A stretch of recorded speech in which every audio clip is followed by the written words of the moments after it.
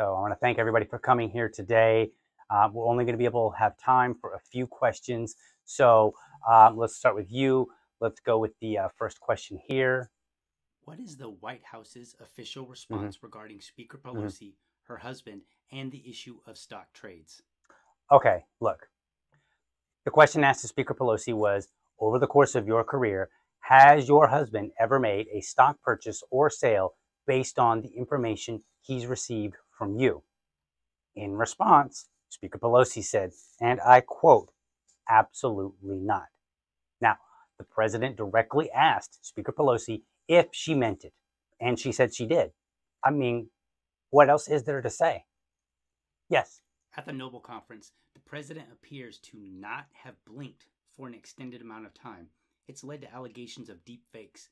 What can you say about that? look, the head, the president is in great health. He's also from an older time when you let someone know that you're serious by not blinking, by not blinking.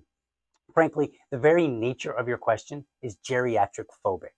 And so we're going to have to ask you to not use such aggressive language when you're here I'm asking questions. to seek out the truth. Uh, look, look, I, I know that you want the truth. We'll give you the most up to date information daily. You can trust us. And frankly, dismiss anything else. We will continue to be your source of truth.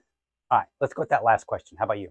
How does the White House justify redefining the word recession to talk about the current economic climate? Okay, look, the root of the word recession is recess. So let me be stern because we ain't playing with you.